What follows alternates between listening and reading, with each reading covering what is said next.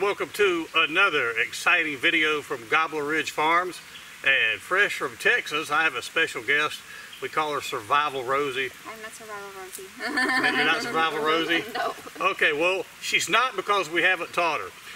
Anyway, we were on a uh, on a camping trip. If you call camping in an RV camping, I know how that could be. But uh, we were out uh, there to kayak on a lake, and uh, this past weekend we were going up a beaver slough in our kayaks, and lo and behold, hanging over the the creek there was a dead piece of willow. And I've been wanting to do friction fire with uh, uh, willow and uh, you know, just I like to do it with as many different woods as possible, and uh, so that I, you know, have that experience when I get out of the woods and know different things to look for.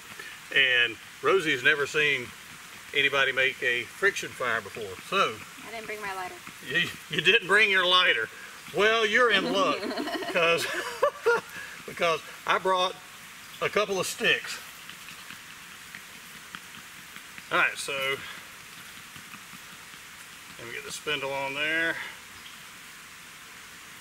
Now I did make an ember the other day, but at the uh, campsite, one of our little hacks for doing a, uh, uh, a campfire is we bring some dryer lint along with us to uh, get the fire started there in the fire ring.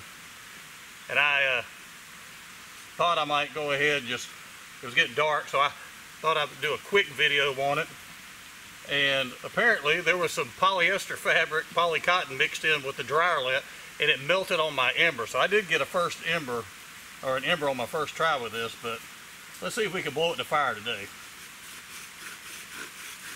Alright.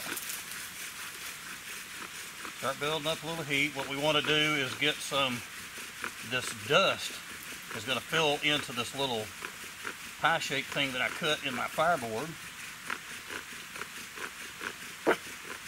And once, hey, no barking on the scent. You can't out your barking. Peaches. Oh, she might hear the squeaking of the wood. All right, see the smoke? Hey, might not need a lighter. Now I'm gonna go faster. Now I'm trying to build up some heat.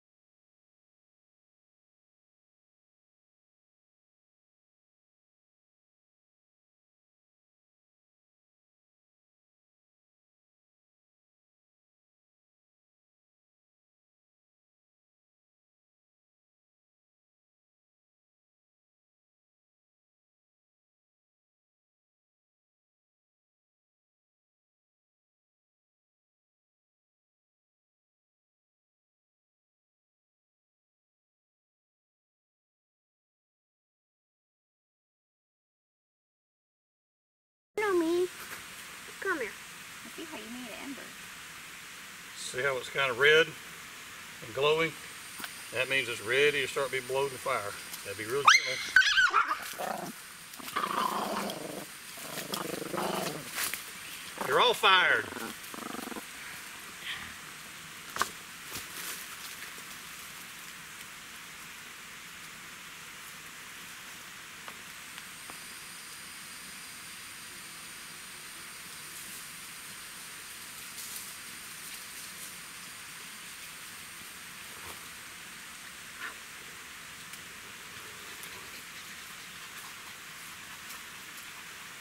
You see that?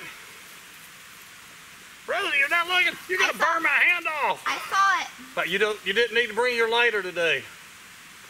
Woohoo! We can have hot dogs. They keep barking. You'll be a hot dog in a All minute. right.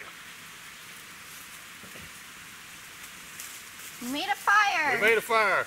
All right. Hey, you're getting off the camera there, girl. I got to teach you to be a YouTube star and a bushcraft aficionado. Yeah, this is a bad video. We're gonna have to redo this. I don't know if I can edit this out to be good. But anyway, uh, this is a piece of willow uh, that I got. It's a uh, it's kind of a soft hardwood, but it, it made a fireboard. Uh, it, it was great to work with. A true soft uh, hardwood, and as you can see, it blew into flame pretty quick.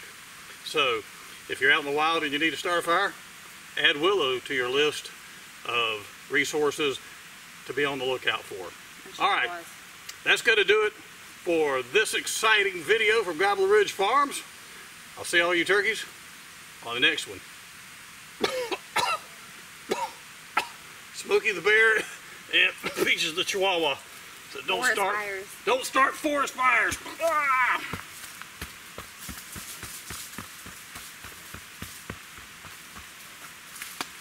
Well, what'd you think?